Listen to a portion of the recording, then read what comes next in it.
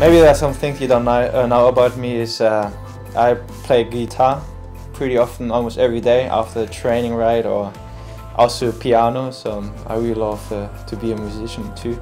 My first bike was my sister's, sister's bike and uh, it was pink.